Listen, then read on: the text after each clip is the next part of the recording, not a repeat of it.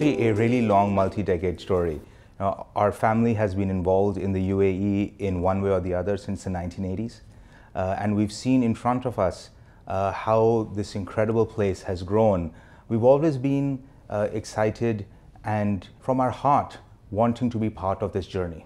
And so it's not so much as a decision that, hello, let's look at the UAE as a market. And to be honest, the market is fantastic. It's growing. A lot of new people are coming in almost every day, particularly post COVID. I think it's probably A, handled COVID the best in the world, and second, has created a true reputation for itself of being efficient, well governed, and a place that is serious about people and serious about business.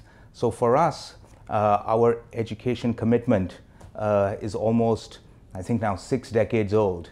And therefore, combining these two loves, the desire to see us being a part of the UAE journey, and as well as, as making an impact socially, I think that's what really brought us here.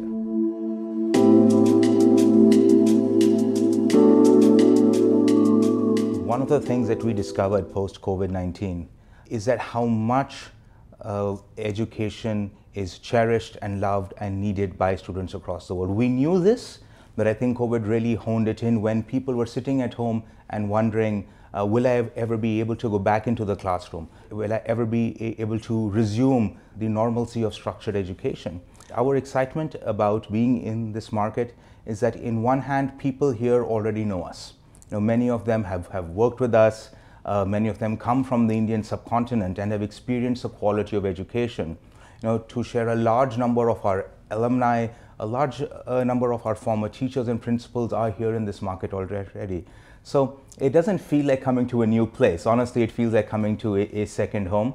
And I think that what uh, truly excites us, being able to bring that level of quality, innovation, and values that we have always prized at Apeejay Education uh, to the UAE and work with fantastic people here who share in those values and who want to do amazing things together.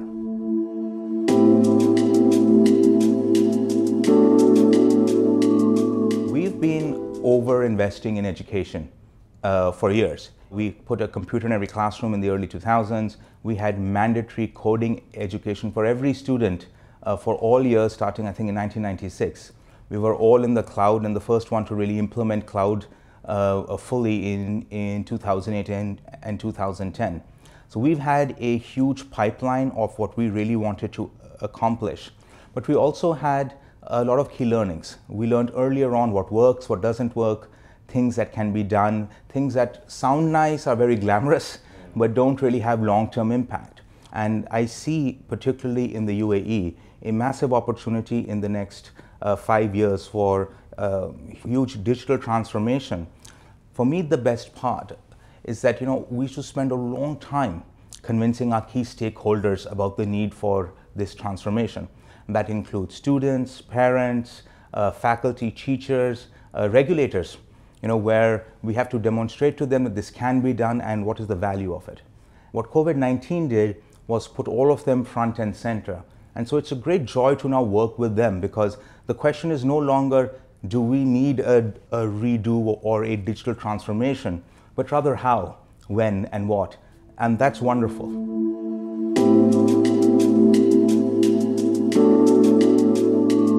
We fundamentally believe that a lot of things that you teach have to be practiced in the culture of the institutions.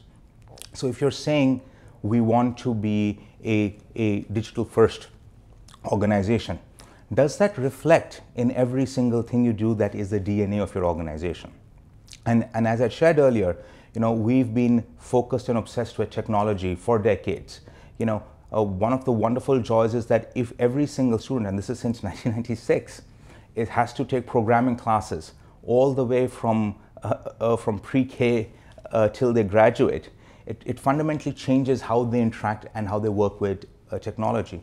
Uh, all of our teachers have adopted this, this you know, incredible technology first approach, not just in the tools they used, but the attitude that they bring uh, to the system. When the lockdowns happened, we were fully online, exams, everything in about 24 hours. And uh, one part of that was all the technology investments we had done. But honestly, the major part was that our students and teachers were ready. You know, no one slept for three months. You know, it was a 24-hour job to sort of really support this effort and get it done. But because they imbibed uh, those values on technology, because they had lived it for so many years earlier, it wasn't a jarring uh, transition. It was a more of an a sort of a quick adaptation, and we found that was very unique to us. You know, we, we saw a lot of other people, a lot of very known brands in education who had invested in technology or were talking about technology, but it hadn't seeped into their DNA. And I think that's a big change that we see. And it's something that we bring to the table is that culture of technology that works throughout the organization.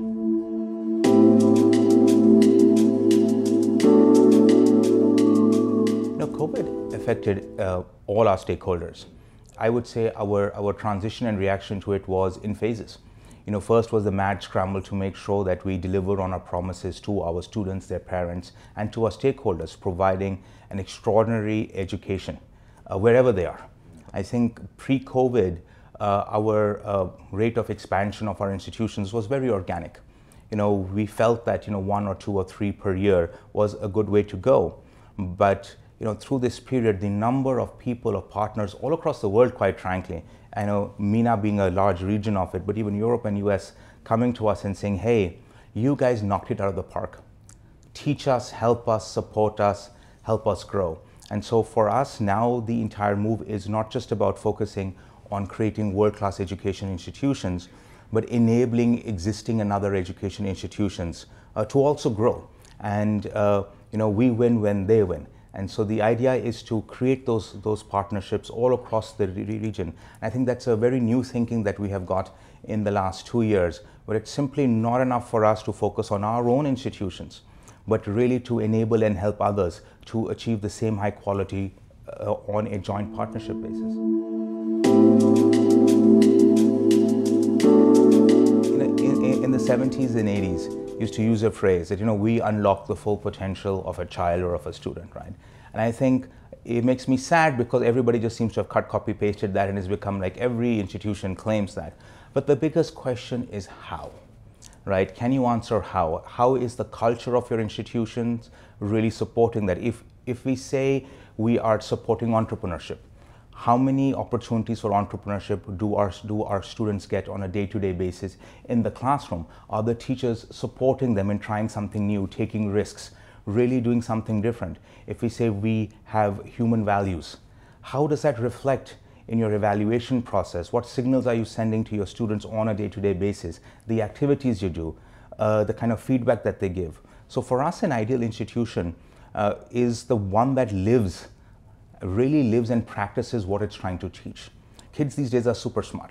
They are going to look and see, hey, you're telling me this, but you're doing this. You are, uh, you know, uh, saying that this is what matters to you, but you're incentivizing this. And so an ideal education institution actually embodies uh, the values, the curriculum, the mission that it's really trying to uphold.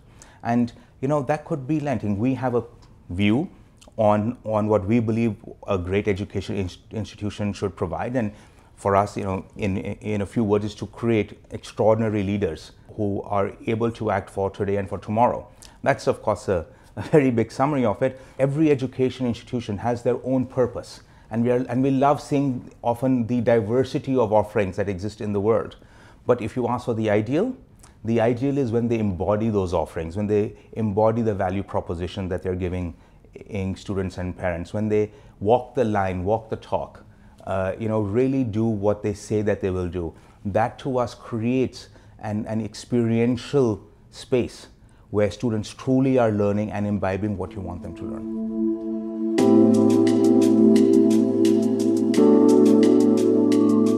We're very uh, excited to work with SEED. I think although we are very familiar with the UAE, we've been here, we have friends, uh, we have customers, we have a whole bunch of people on the ground as well. But, but what we loved uh, about Seed was the unique insight they bring to the market, uh, as well as a very determined process to allow partners to succeed. We felt that working with Seed, we could perhaps accomplish what would take us maybe three to five years in maybe one or two.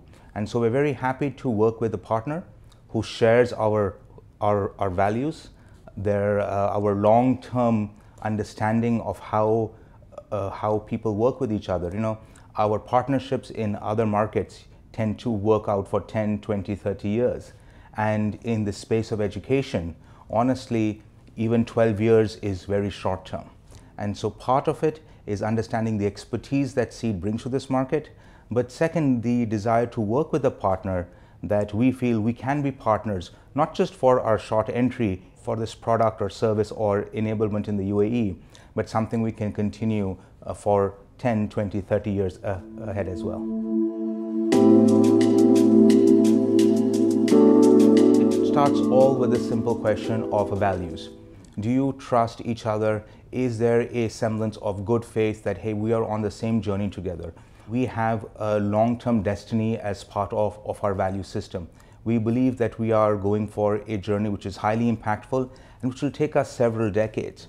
Our goal is to try to enable our partners to do the best that they can. And if our partners are doing the best that, that they can, they will allow us and, in fact, make us be the best that, that we are. And at the end of the day, our focus is on our end customers, our end consumers, uh, the people who put their trust in us and our partner ecosystem. And so having that in-depth connectivity uh, between all of us uh, allows us to, to really present a, a valuable and worthwhile proposition all across our customer ecosystem.